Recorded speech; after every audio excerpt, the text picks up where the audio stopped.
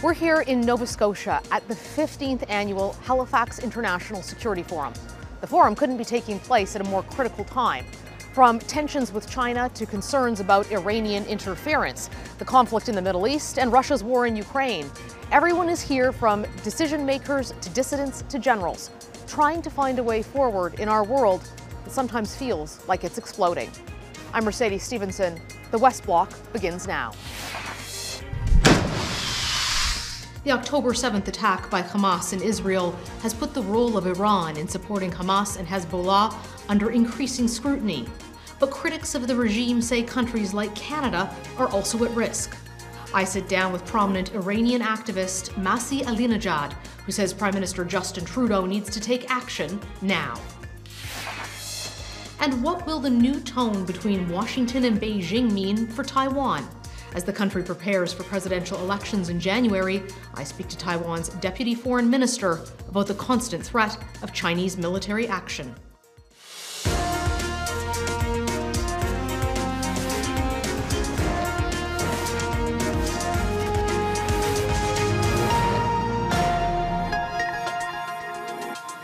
The Iranian regime casts a long shadow around the world, one that has become even more obvious since Hamas attacked Israel on October 7th. Tehran uses proxy terrorist groups like Hamas and Hezbollah across the Middle East. But a global news investigation found the regime's tentacles extend to right here in Canada. Our Negar Mojtahedi uncovered evidence of more than 700 regime operatives here on Canadian soil. From money laundering to threats to murder plots, the impunity with which the regime appears to be operating in Canada is shocking. Renowned Iranian human rights activist Masih Alinejad sat down with me to share a fresh warning and a bone chilling message for Prime Minister Justin Trudeau. Masih, thank you so much for joining us today. I, I know that it was actually a, a dangerous thing potentially for you to come to Canada.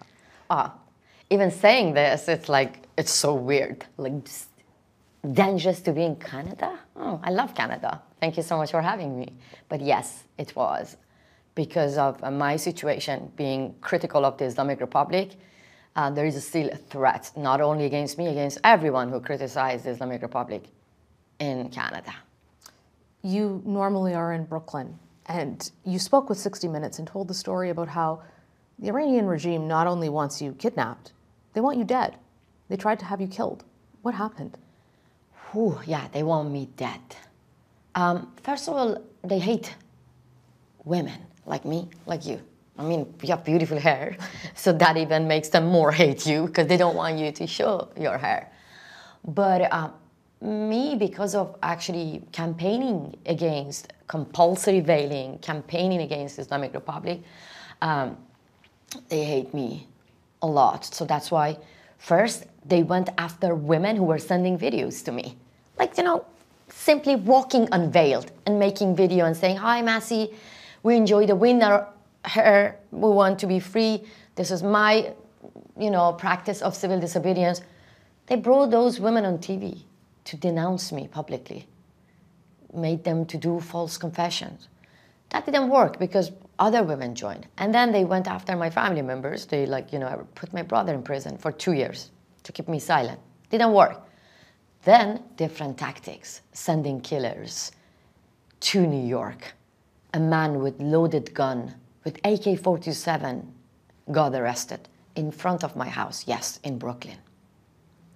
You see these stories, you hear them and they sound like something out of a mystery novel or, or a bad movie, but it's, it's happening here, it's happening in New York, but also in Canada. We recently did a documentary, we found that at least 700 regime affiliates are here in Canada, and the Iranian diaspora population says they're being intimidated by them. But you know what makes me angry the most?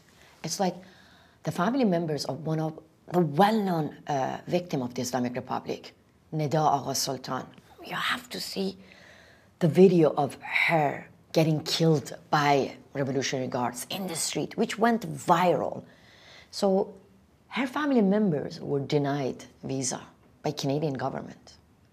But at the same time, you see that the member of Revolutionary Guards themselves, who's shooting people in the chest heart, receiving visa and being welcomed in Canada. That makes me angry. So, why do you think the Canadian government is not doing more to stop these people from coming to Canada? You know, this question should be asked um, in front of Prime Minister Trudeau. I want you to sit down and, and, and ask I, this question. I'd actually love to give you his response because we, we did ask him you that. did. And what his response was is that the government will continue to do everything necessary to cliche. hold the regime accountable. They say they've criminalized them so they are not allowed to enter Canada, but they have not designated the IRGC as a, as a terror entity, which some activists here say is necessary. You know, th- these are cliche and empty word. And Prime Minister Trudeau, I want to use this camera and talk to you directly don't be scared of me and women like you know you and critical journalists and Iranian Canadians in Canada. We love Canada. We love peace and security and democracy. We love Canada to be a shelter for you know decent people. And you're putting the lives of Canadians in danger. So I want to meet you. That's all I can say because otherwise he's going to come up with a lot of empty words saying that we stand with the people of Iran. No, please sit down and make decisions. How to protect uh, human rights, how to protect democracy in Canada. That's very important. I was the one four years ago in Canadian Parliament. I warned Prime Minister Trudeau's government that put the Revolutionary Guards on the terrorist list. They didn't. What happened? The same Revolutionary Guards killed Iranian Canadians by shooting down the Ukrainian airplane. So that's why when we warn Prime Minister Trudeau, it means that we know the danger is coming. Now Revolutionary Guards are everywhere, everywhere, sponsoring Hamas to kill um, civilians in Israel. And that's one of the questions I wanted to ask you. What, what would these members of the Iranian regime be doing in Canada? Spying, money laundering, everything, spreading the ideology of the Islamic Republic. Wow, they can do a lot. That's the goal of Islamic revolution since when they took over Iran 40 years ago. Uh, Khomeini was saying that we have to export our revolution, our values. Child marriage, you know, this is one of the values of uh, Islamic revolution. Compulsory veiling, you know, and spreading terrorist ideology saying that if anyone do not follow our values and ideology, they can be eliminated. You were warned by the FBI that Canada might be particularly dangerous for you. I think a lot of Canadians would be shocked and horrified by that. I don't want Canadian people get uh, angry with me because of my situation now, you hear that a lot on media that Canada is not safe, Canada is not safe, don't go there. But honestly, this is actually, um, to me, it's a warning. Uh, and, and, all Canadians should actually put pressure on the government in Canada because it's not good to hear actually that as, as Canadian citizens hear that most of the time that Canada is not safe. Canada became a haven for Islamic Republic agents Canada is a country that a lot of people have respect for it. In, in my country, a lot of people want to come to Canada and enjoy freedom. But now they say that, oh no, let's not go to Canada because it's not safe.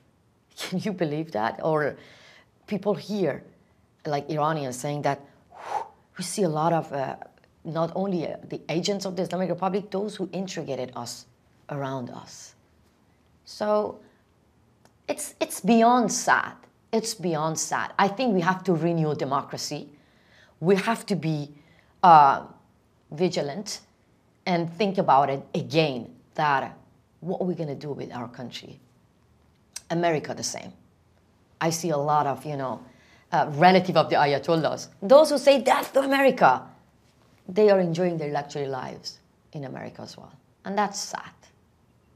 What did the FBI tell you about the RCMP's ability to protect you in Canada?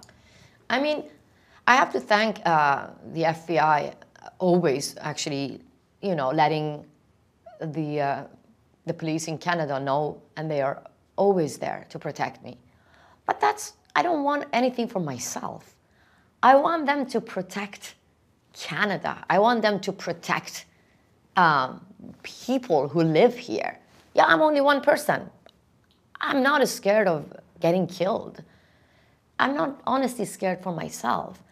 But this is scary that in front of the eyes of free world, we see that the Islamic Republic threatening national security of Canada and national security of America. Yes, I was told by the FBI that the same people who plotted to kidnap me, they were the same group trying to kidnap two uh, Canadian citizens on Canadian soil. Yes, that was like public. You can read the indictment by, you know, Department of Justice in America. When they published that, I was like, wow, then I'm not alone. The same member of Revolutionary Guards who were trying to kidnap me, they were after two Canadians and two uh, UK citizens. That's why I say that. Where are you, the democratic countries? What has happened to you in terms of threats or activity since you Nothing. spoke I'm to getting Global louder News? and louder.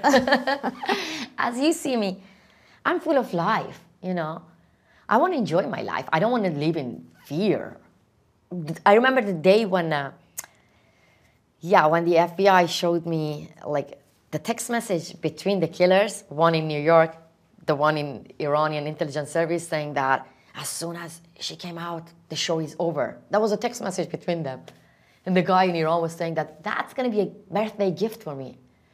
I just turned back to my husband. I said that they talk about my dead body as a gift. So it's disgusting, no? But I said to myself, wow, I'm only 45 kilos. I'm not carrying weapon, nothing. But they are scared of me. So that gives me hope. So it's like, you know, Iranian women, teenagers. They're scaring the whole regime with guns and bullets, power, money, everything. But they're scared of Iranian women's hair.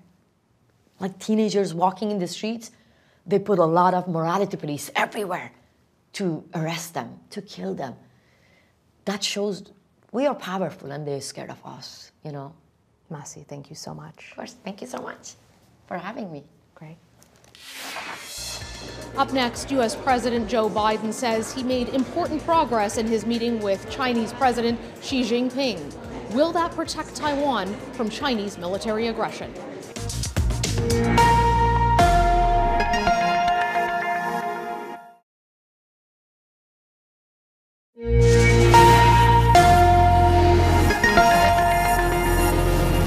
Historic meeting between U.S. President Joe Biden and Chinese President Xi Jinping may have dialed down the threat of war with China.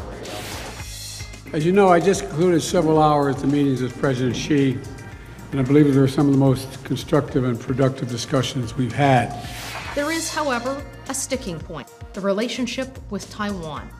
Will the new tone between Biden and Xi help to protect Taiwan from the possibility of a Chinese invasion? I spoke to Taiwan's Deputy Foreign Minister of Affairs, Roy Chun Lee. There's a lot of fear that there could be an accidental third world war, essentially. As you sit there and watch this uh, from the Taiwanese perspective, what does this meeting mean for Taiwan's security? Has it helped, or do you think that there's still a high potential for China to invade?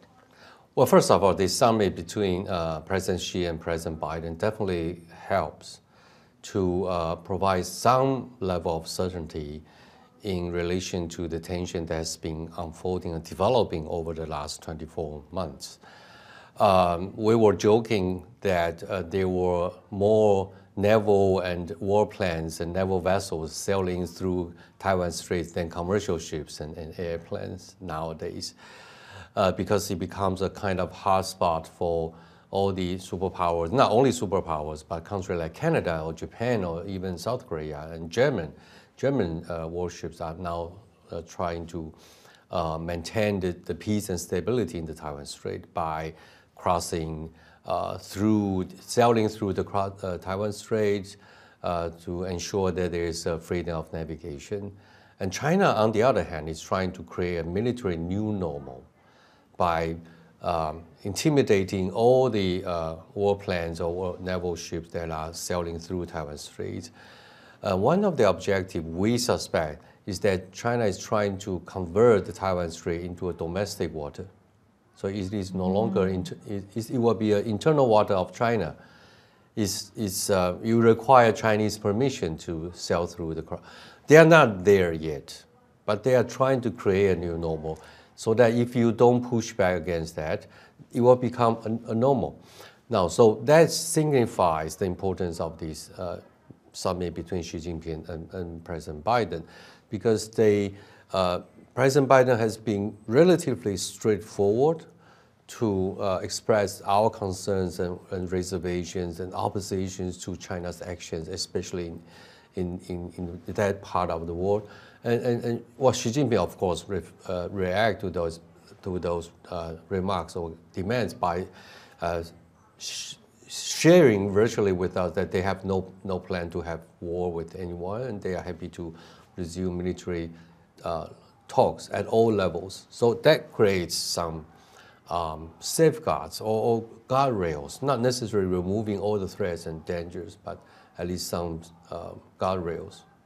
China has clearly been escalating in, towards, in terms of its, its menacing posture towards Taiwan. Tell us what those threats have looked like for you. What does it involve? Because we just see when they intercept a Canadian or American ship or a Canadian plane, it makes our news. But for Canadians out there, what have the Taiwanese people been living with? If you are living in Taiwan, the reality is that every day you wake up, you turn on, you, you log in into the internet, and you can check on the numbers of uh, Chinese warplanes that have approached Taiwan overnight in the last 24 hours. Sometimes the number is five, sometimes the number is 90. Every day? Every day. Uh, wow. Every day. So it becomes part of the daily uh, uh, threat. So the threat is not only on the paper, it's actually in the sky, in the sea surrounding Taiwan.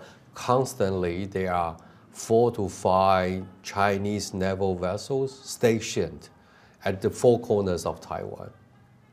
And they change guards uh, on, on, a weekly basis. Of course, they are not into Taiwan's territorial waters, certainly, but they, they, they, they, they, their posture is such that they can do that over, over the next 10, 10 minutes. So that's how close they are, and that's the, how frequently they are uh, intimidating Taiwan on, on, those military front. But I, I, need to add another element that is intimidation and coercion in the digital world. On a daily basis, we receive thousands of cyber attacks. Last year, Taiwan's private uh, public sector received over 30 million cyber attacks every month. That is 1,000 times more than European countries on average. It's extraordinary. So it's not only the war warplanes, it's not only the naval vessels, but also the cyber attacks and the disinformation.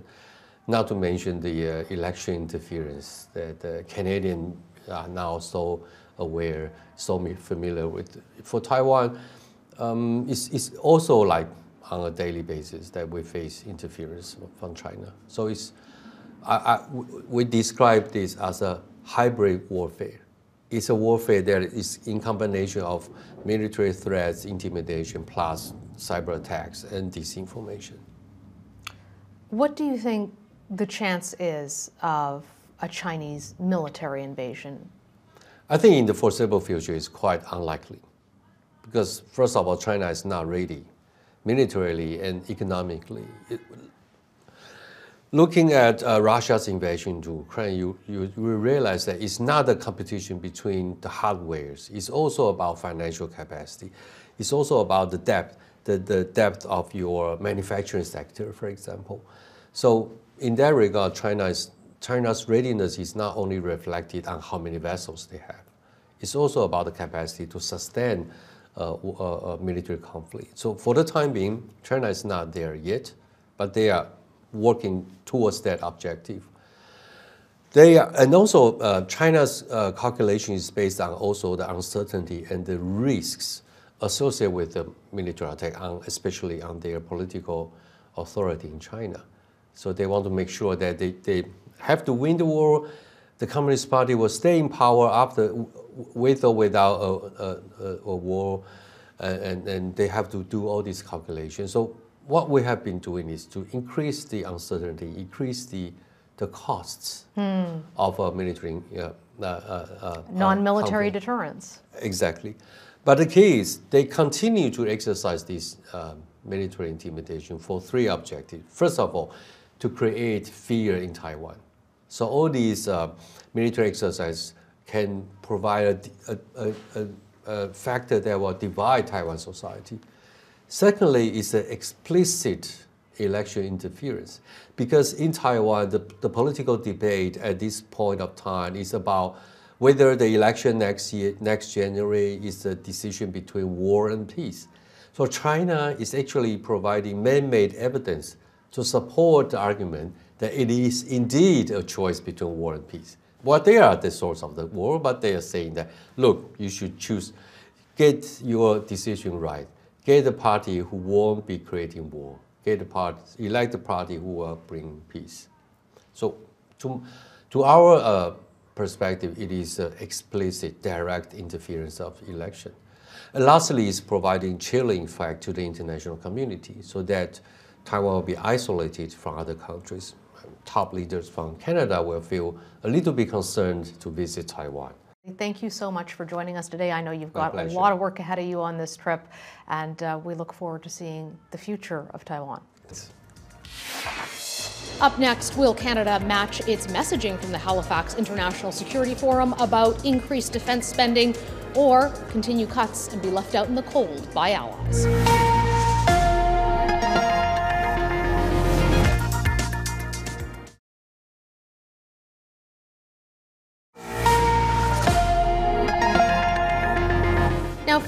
One last thing.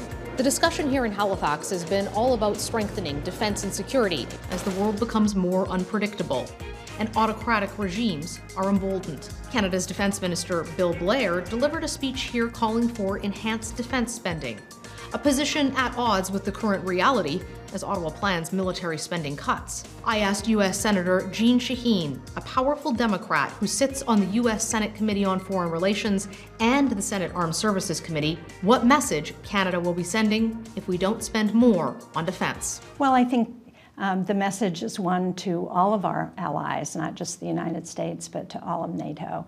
Uh, I was just in the Western Balkans in Europe, in um, North Macedonia, where they're spending over 2% of their GDP on defense. And they, as they said to me, we've provided every weapon system we could to Ukraine. Um, all that's left in, in our country now is the band. And I think we're seeing that kind of commitment and sacrifice on the part of some of the smallest allies in NATO. And so it's important for the bigger partners to make sure that we're also putting in our fair share. We'll see if that defense spending comes through. That's our show today from Halifax. We'll see you next week from Ottawa.